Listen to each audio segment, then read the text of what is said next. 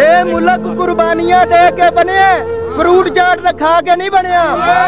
ਜੀ ਇਸ ਮੁਲਕ ਦੀ ਬੁਨਿਆਦ ਖੂਨ ਦੀ ਨਦੀ ਤੇ ਰੱਖੀ ਗਈ ਹੈ। ਜੀ ਮੇਰਾ ਭਾਈ ਕੋਈ ਇਹਨੂੰ ਸਸਤਾ ਨਾ ਸਮਝੇ। जी पेट नहीं भर सकते। की भर सकता है? जहन्नम की आग इनका पेट भरेगी इंशाल्लाह। हाँ। इनके दुनिया में इनके पेट नहीं भर सकते जो मर्ज़ी हो जाए। ये पाकिस्तान के गंदे तरीन गलीज तरीन लोग हैं। की, की जा रहा सुबह की हाँ गल है? की खा नहीं जा रहा मैं हक की गल करता पे के हक की गल है? हक दी गल है और मैं करण की आया मैं हक दे नाल आया भाई मेरे। पट्टी क्यों बनी फिरना पट्टी बनी अपने लीडर का झंडा बनया अपनी पार्टी का झंडा बनया है। ਉਹਦੇ ਧਰਨੇ ਤੇ ਤੇ ਤੂੰ ਗਿਆ ਨਹੀਂ। ਗਿਆ? ਕਿਉਂ ਨਹੀਂ ਗਿਆ? ਮੈਂ ਸਾਰੀਆਂ ਹੱਦਾਂ ਸਾਰਾ ਦਿਨ ਮੁਰੀਦ ਕੇ ਲੜਿਆ। ਫਿਰ ਟ੍ਰੇਨ ਪਕੜੀ। ਟ੍ਰੇਨ ਪਕੜ ਕੇ ਮੈਂ ਫੈਜ਼ਾਬਾਦ ਇੰਟਰਚੇਂਜ ਪਹੁੰਚਿਆ। ਜਦੋਂ ਮੈਂ ਫੈਜ਼ਾਬਾਦ ਇੰਟਰਚੇਂਜ ਗਿਆ ਮੈਨੂੰ ਕਾਲ ਆਈ ਹੈ ਕਿ ਖਾਨ ਸਾਹਿਬ ਨੇ 6 ਦਿਨਾਂ ਦਾ ਟਾਈਮ ਦੇ ਦਿੱਤਾ। ਮੈਂ ਫੈਜ਼ਾਬਾਦ ਇੰਟਰਚੇਂਜ ਤੋਂ ਵਾਪਸ ਆਇਆ।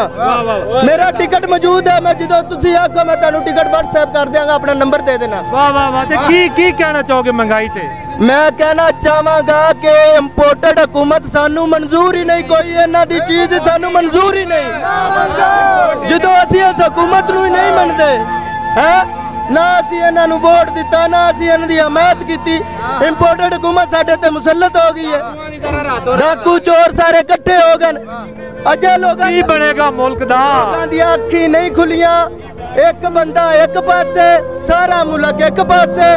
ਕੱਲਾ ਹੱਕ ਤੇ ਕਲਾ ਲੋਕਾਂ ਦੀ ਅੱਖੀ ਨਹੀਂ ਖੁੱਲੀਆਂ ਹੋਰ ਬੜਾ ਕੁਝ ਖੁੱਲ ਗਈ ਲੋਕਾਂ ਦੇ ਜ਼ਮੀਰ ਸੌਂ ਗਏ ਨੇ ਲੋਕਾਂ ਦੇ ਜ਼ਮੀਰ ਸੌਂ ਗਏ ਨੇ। ਜਿੰਨੀ ਮਹਿੰਗਾਈ ਹੋ ਗਈ ਲੋਕਾਂ ਦੇ ਜ਼ਮੀਰ ਸੌਂ ਗਏ ਨੇ। ਉਹ ਜਿੰਨੀ ਮਹਿੰਗਾਈ ਹੋ ਗਈ ਹੈ ਨਾ ਬੜਾ ਕੁਝ ਖੁੱਲ ਲੋਕਾਂ ਗਿਆ ਦੇ ਜ਼ਮੀਰ ਸੌਂ ਗਏ ਨਾਜ਼ਰੀਨ। ਨੇ ਅਗਰ ਜ਼ਮੀਰ ਜ਼ਿੰਦਾ ਹੁੰਦੇ ਨਾ ਤੇ ਹਰ ਬੰਦਾ ਆਪਣੇ ਮੁਲਕ ਵਾਸਤੇ ਨਿਕਲਦਾ। ਇਹ ਮੁਲਕ ਦਾ ਮਸਲਾ ਹੈ।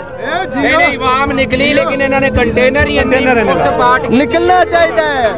ਇਹ ਮੁਲਕ ਕੁਰਬਾਨੀਆਂ ਦੇ ਕੇ ਬਣਿਆ ਫਰੂਟ ਚਾਟ ਨਾ ਖਾ ਕੇ ਨਹੀਂ ਬਣਿਆ ਜੀ ਇਸ ਮੁਲਕ ਦੀ ਬੁਨਿਆਦ ਖੂਨ ਦੀ ਨਦੀ ਤੇ ਰੱਖੀ ਗਈ ਹੈ ਜੀ ਮੇਰਾ ਭਾਈ ਕੋਈ ਇਹਨੂੰ ਸਸਤਾ ਨਾ ਸਮਝੇ ਜੀ ਇਨਸ਼ਾਅੱਲਾ ਇਨਸ਼ਾਅੱਲਾ ਹਰ ਮਾਹ ਤੇ ਲੜਾਂਗੇ ਇਨਸ਼ਾਅੱਲਾ बहुत शुक्रिया नादरीन मैं बस ये कहूंगा कि सब मिलके दुआ करें इस मुल्क के लिए जो भी हो अच्छा, अच्छा हो जो भी आए अच्छा आए और हमारे लिए अच्छा हो जो हम पे मुल्क पे कर्जा है महँगाई है बेरोजगारी भाई जी तुम की करना है? नारे मारी जा रहे हो। नारे मारना और की करना है?